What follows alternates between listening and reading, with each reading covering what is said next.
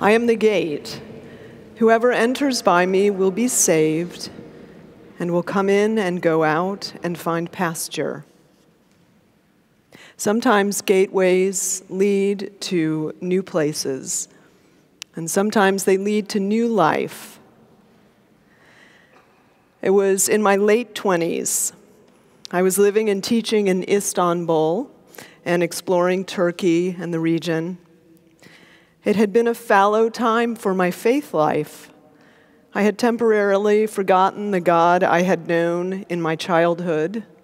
The God who had known me, had mothered me, who gave me hope. During graduate school, the airwaves had seemed so full of fundamentalist megaphones that I guess I was hearing the deceiver. And I had associated God with the more childish me, orphaned me, uncertain me. And now that I was thriving personally and professionally, I was a little arrogant, living as though I didn't need God anymore, or at least not the God I had been hearing about, the one who really seemed so hateful, who seemed to judge and exclude an awful lot of people. In fact, I was so far away that my priest noticed when I got married and during the homily said, Make sure this isn't the last time you're in church. Take note, preachers, what happens. but wouldn't you know it, you can take the girl away from God, but you can't take God out of the girl. Turkey was nothing if not a religious country. The call to prayer rang out throughout the day, proclaiming God's greatness.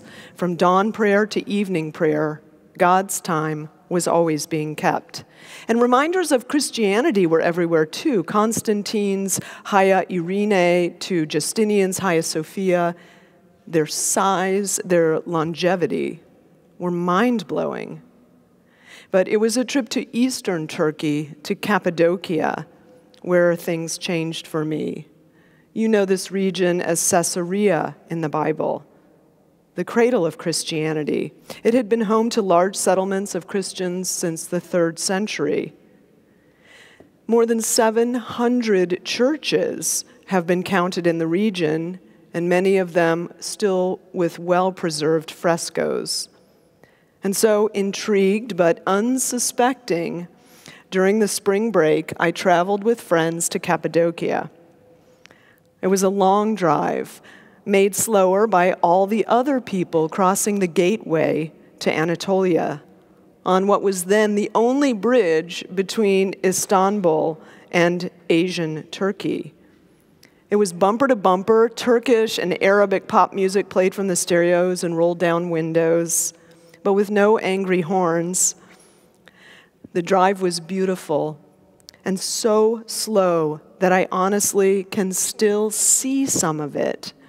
The red, red poppies covering the low foothills, snow in the distance, children from nearby villages offering baked goods and candy and water, people getting out of their cars to walk along. It was that slow. Shepherds and their flocks ambling along together. My friends and I shared in reading aloud about the places we were going to visit as we drove. Still, all this reading and the anticipation couldn't have prepared me for what was there or for what was to come. In the early centuries of the church, it was dangerous to be a Christian, and plenty of Christians were killed.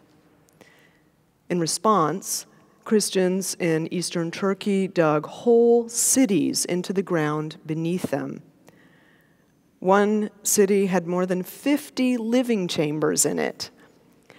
Forced to live underground, these early Christians lived in vast settlements, several stories deep, for months at a time.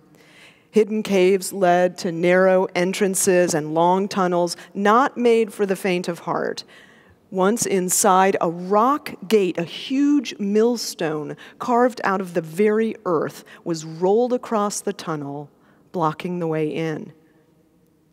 The underground cities were complex, including interconnected household dwellings, deep wells, animal pens, long ventilation shafts, chimneys, and for our interests, chapels, monasteries, and churches.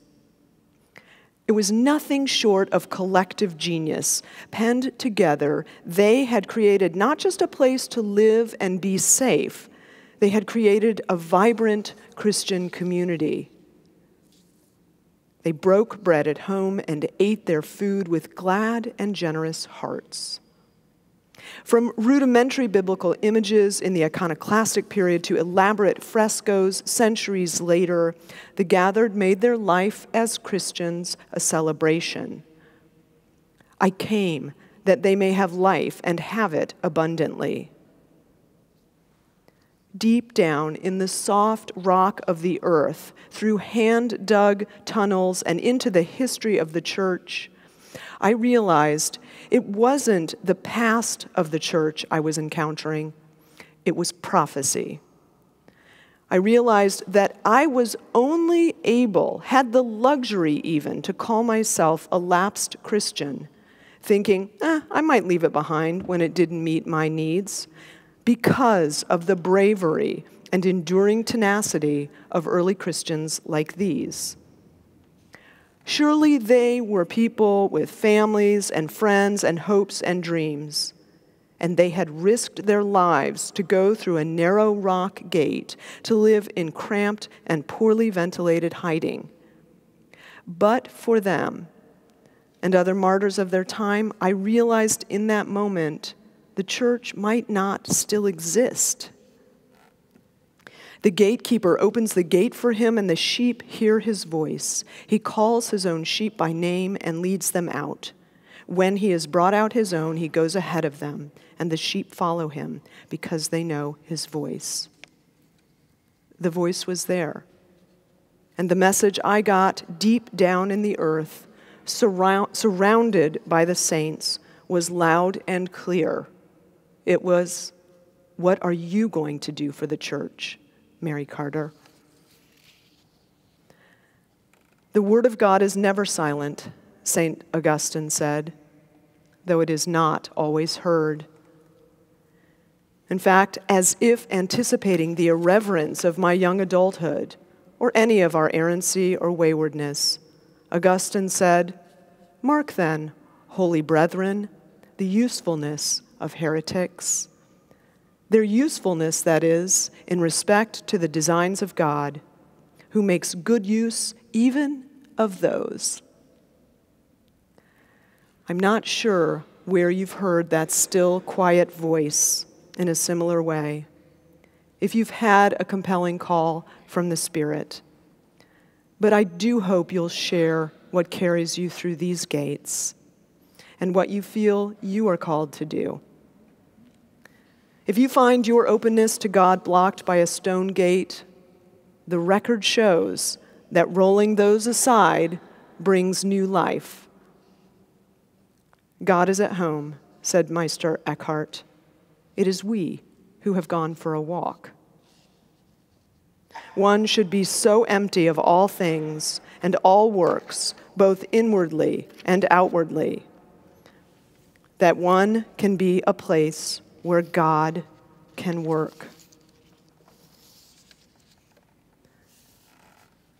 That place is within your heart. That place is within your community.